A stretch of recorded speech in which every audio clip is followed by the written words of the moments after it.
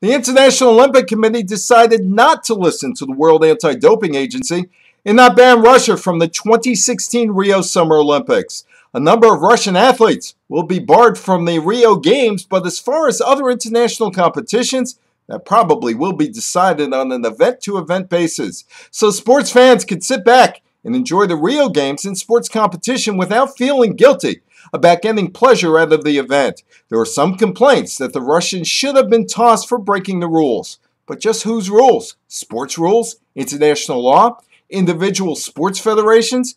The International Gymnastic Federation, the International Volleyball Federation, and the International Judo Federation decided all was fine in the Olympics world and they would not be behind any ban of Russian athletes.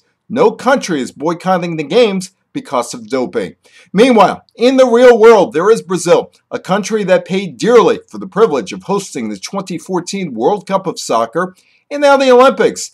There is a huge list of unique problems going into this athletic competition that seems unprecedented.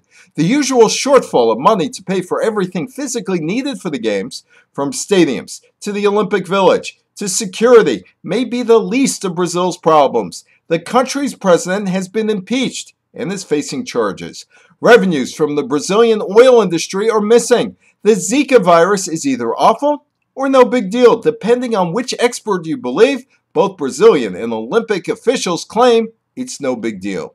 There's a severe water pollution problem, and Brazil has arrested a dozen people who are said by authorities to be part of a plot to inflict harm.